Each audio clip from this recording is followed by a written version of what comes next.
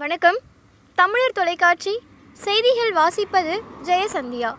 பட்டய கணக்காளர் துறையில் பல்வேறு துறை சார்ந்த மாணவர்கள் அதிக ஆர்வத்துடன் பயிற்சி பெற்று வருவதாகவும் இது உலக அளவில் இந்திய மாணவர்கள் பொருளாதார துறையில் சாதிக்க உதவியாக இருக்கும் என ஐசிஏஐயின் தலைவர் கோவையில் தெரிவித்துள்ளார்.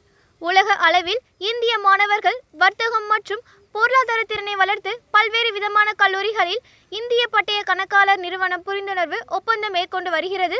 அந்த வகையில் பிகாம் பிபிஏ பயிலும் மாணவர்கள் கணக்கு நிதி செலவு வருமான வரி ஜிஎஸ்டி என பொருளாதாரத்துறை சார்ந்து பயிற்சி பெறும் விதமாக கோவை நேரு நகர் பகுதியில் உள்ள சுகுணா கலை மற்றும் அறிவியல் கல்லூரியுடன் இந்திய பட்டய கணக்காளர் நிறுவனம் புரிந்துணர்வு ஒப்பந்தம் நடைபெற்றது.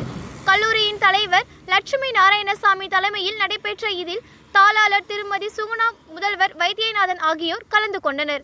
இதில் கலந்து கொண்டு பேசிய ஐசிஏஐ தலைவர் மதனகோபால் இந்திய மாணவர்கள் உலக அளவில் உள்ள பொருளாதார கொள்கைகளை தெரிந்து கொள்ள இது போன்ற புரிந்துணர்வு ஒப்பந்தங்கள் பயனாக இருக்கும் எனவும் மேலும் வணிகவியல் துறை மாணவர்கள் மட்டுமின்றி தற்போது பட்டய கணக்காளர் துறையில் பொறியியல் மாணவர்களும் நல்ல நிலையில் சாதித்து வருவதாக அவர் தெரிவித்தார்.